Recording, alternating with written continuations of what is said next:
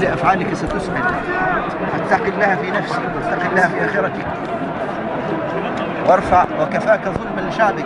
آن الأوان لترحل. آن الأوان لتتخلى عن هذه المظالم لعل الله أن يرزقك التوبة في هذه اللحظات. وإن كانت مظالم العباد في عنقك تحتاج أن تتبرع منها. حقوق العباد لا تسقط حتى بالتوبة.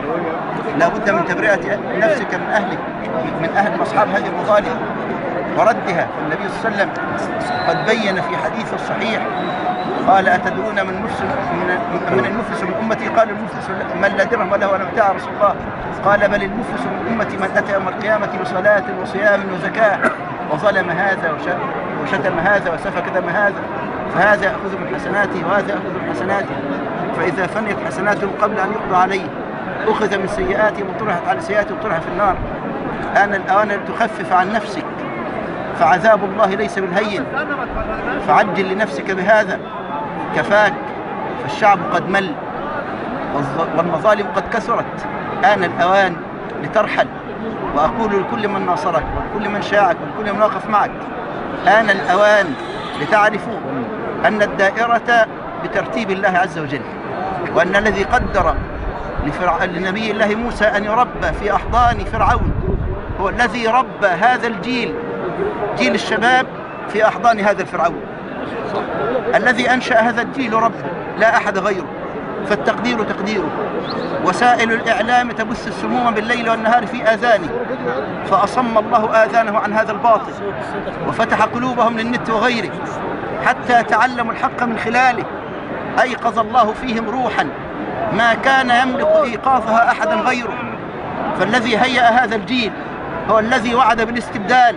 وإن تتولوا يستبدل قوما غيركم ثم لا يكونوا أمثالكم. وهذا التبديل سنة ماضية سنة ماضية. بل أقول لجيل الشيوخ إلى متى الجبن والخور؟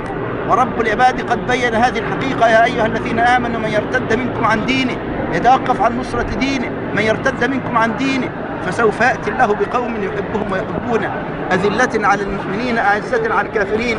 يجاهدون في سبيل الله ولا يخافون لومة لائم.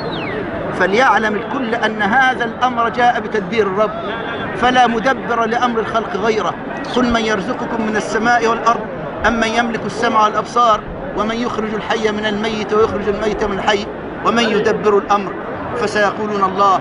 فهذا تدبير الله لأمته وهذا تدبير الله لدينه. وهذا تدبير الله للمظالم من عباده. طال الظلم وكثرة الضراعات ورب النبي صلى الله عليه وسلم يقول اتقوا دعوة المظلوم فليس بينها وبين الله حجاب. يرفعها الله فوق السحاب فوق الغمام ويقول وعزتي وجلالي لأنصرنك ولو بعد حين. لأنصرنك ولو بعد حين. وقد حان الحين وآن الأوان. أسأل الله تعالى أن يعجل برفع هذه المظالم وأن يحرر الأمة من كل ظالم. أسأل الله أن يؤمن كل مسلم ومسلمة في سربه وعرضه. أسأل الله أن يحفظ لهذا البلد أمنه وسائر بلدان المسلمين. أسأل الله تعالى أن يعيد رجال الشرطة عن لرشدهم.